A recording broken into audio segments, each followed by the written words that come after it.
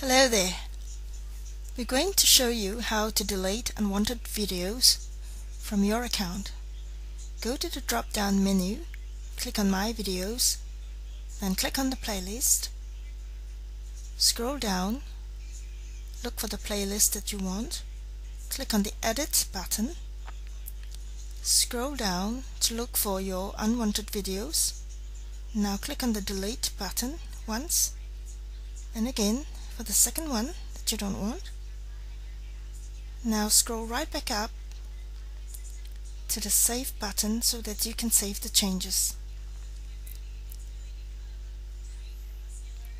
That's it, you're done. Thank you for watching.